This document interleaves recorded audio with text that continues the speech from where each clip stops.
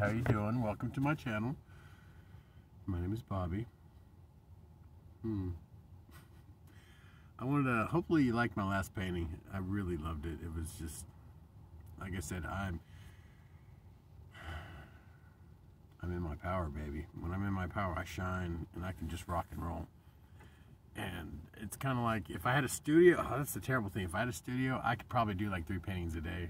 I mean, literally when I was in my studio.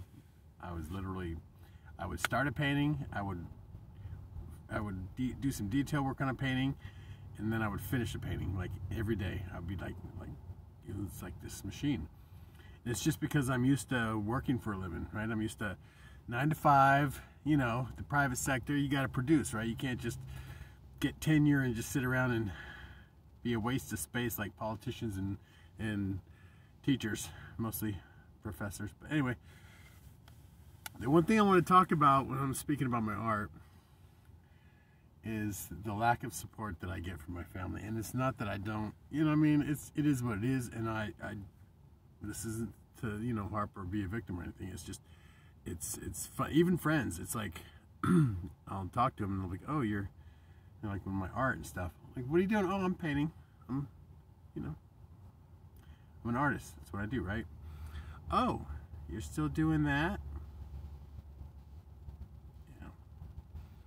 Would you say that to a doctor? Oh, you're still performing surgery? Okay. So the faith that my family have in me, you know, is staggering.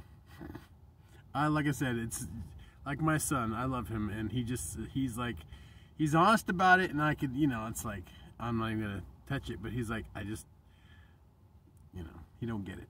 That's what he says, which is fine.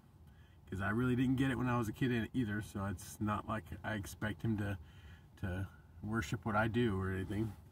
It's always nice to people respect what you do. I mean, I don't know how many paintings you paint before you consider yourself an artist, and that, that was my dilemma at first. It was, you know, just calling myself an artist felt kind of fake, like it was like, you know, phony, like it wasn't really. I'm not. It's like just pretending, right? It's like the, you know, pretender syndrome. Uh, yeah, and when you don't have any family members going, that's amazing, keep up the good work, you know, go, go. I mean, my sister Deanna is like the only support I get from my family that's like even encouraging and excited about it. Plus, she's got stake in the company, babe. That woman's gonna be taken care of when when when Bobby Ink blows up. You know what I mean? well, anyway, but I'm really jazzed. My paintings are coming along. I just bought five new canvas and I already got four of them covered.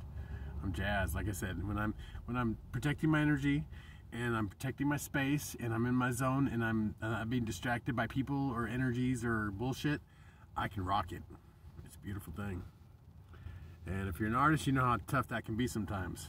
And they talk about the like Jackson Pollock movie when I was watching that, and his wife at the time was like, and he started getting into this flow, and they moved to the cabin or whatever. And, he started really rocking and she was like oh you broke through right the barrier.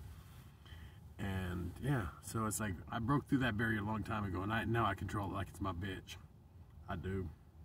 Anyway I love you God loves you and the universe is crazy about art and I hope you like my art so far and I'm gonna I'm gonna start posting it because I've I'm selling art faster than I can post it so people can see it which is awesome but at the same time there's like pieces of my art that nobody's ever gonna know about like Paul, the gentleman that works at the Patton Museum, behind the Patton Museum, he's the groundskeeper for the, the dry camp.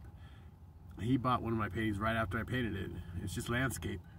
It was really beautiful. And he was like, I don't even like art, but I like that. So he was willing to give me some of his hard-earned money, so that was awesome. But anyways, and no, and I didn't even get a chance to post it or anything, so yeah, that's what it is. You can ask him to see it if you want to, whenever you go down the Chiriaco Summit. But anyway, I'm going to let you go. Have a wonderful day. And again, I hope you like my art and rock it. Okay.